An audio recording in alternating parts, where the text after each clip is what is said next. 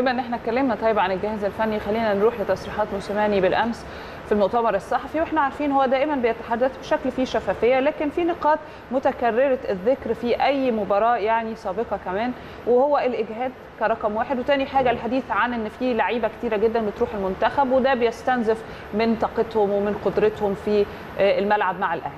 فدي نقاط ولكن برضو قبل ما أدي حضرتك المساحة لو تسمح لي خلينا نروح لل tweets اللي, عملها برضو امبارح بعد إذنكم يا جماعة موسيماني لأن هو عمل كذا تويته امبارح برضو. تمام. كان فيها رسائل حلوة. يعني مش هقراها كلها بس مثلا من الحاجات اللي لفتت نظري قال مثلا we will also make corrections on the Egyptian Premier League.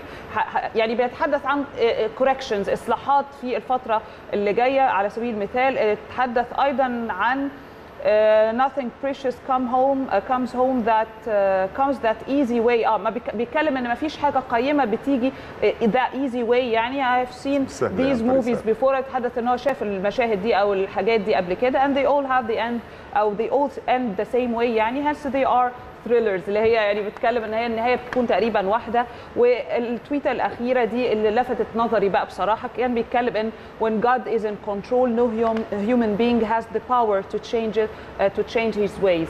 فيعني لما بيبقى ربنا مسيطر أو يعني كل شيء تحت سيطرة ربنا ما يبقاش فيه تدخل بشري من أي حد يقدر إن هو يعمل أي شيء. فشايف إزاي برضو هو- آه، هو؟ بيتكلم كلام لوجيك أي مدرب أو مدير فني في العالم أهم حاجة بقى محتاجها في البطولة اللي داخل فيها ان يبقى في أجندة ثابتة أيوة، ومواعيد أيوة. ثابتة طبعا. ما يبقاش فيها لخبطة وما بقاش فيها وبعدين إحنا ما بيبقاش القصة دي يا كريم في في آه، مثلا مباراة أو أسبوع أو أسبوع إنما بتتكرر كتير قوي وفجأة يعني يعني آه، بره بت- بتشوف ال- ال- الجدول ال- مثلا في إنجلترا بتشوف الجدول من أول يوم لآخر يوم ثابت ومعروف الأجندة طبعا. الدوليه معروفة وكذا معروف وكذا. مع ف, ف يعني ده أنا عايز أقول لك حاجة ده بيحطوا بالحكام كمان حكم الم... الأسبوع ال 30 فلان آه. الفلاني إحنا هنا زي ما تقول إيه عايشين باليومية بالحتة آه، طبعا. كل أسبوع الأسبوع الجاي هنلعب لا استنوا يعني ماتشات الكاس اهي رجعت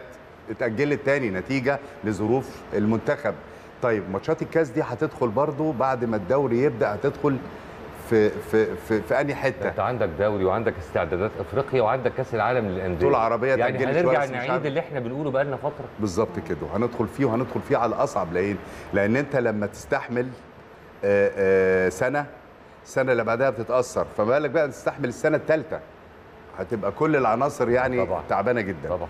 فهو يعني آه، مطلوب من موسيماني حاجة الرد على كلامه برضو إن أنت عندك كم من اللعيبة. لازم تحط في دماغك إن ال- الوضع هيفضل زي ما هو. هيبقى في تلاحم مباريات هيبقى في إصابات هيبقى في الحاجات المعتادة. فلازم أنت تأهل اللعيبة كلها ان ان إن يبقى عندك 30 واحد في الملعب. بيلعبوا. ما أقدرش أعتمد مثلا على قفشة بس. طب ما هو قفشة ده وارد إن هو ما بلاش لا قدر الله إصابة. إنه يتعب طبعا. يبقى مجهد. فين البديل؟ ما هي دي بقى النقطة هي. وبعدين البديل اللي هو ما يبقاش نازل يعني بيأدي قاعد بقاله. فترة آه. ويعني الناس تحكم عليه وما يبقى. في يبقى صوت مجهز بشكل لازم يبقى. مجهز كويس جدا جدا ولازم يبقى يبقى آه، أهل إن هو يلعب ورجله في الملعب كذلك العناصر كلها من أول حراسة المرمى كمان الشناوي الواحد برضه مشفق عليه آه، شنو أكتر واحد بيبقى موجود في الملعب يعني اللعيبة بتتغير هو مستمر على طول ومستمر في النادي وفي المنتخب عليه عبء كبير. طبعا. فلازم برضه يبقى في البديل اللي انت لو لقيت فرصة معينة. ما تقولش بقى آه، أصل أنا المباراة دي حساسة. أصل ما كل مباراة صعبة. أيوه وكل مباراة أيوة. حساسة. وأي ماتش في الدوري آه، آه، المفروض إن أنت تكسبه عشان تفضل على القمة.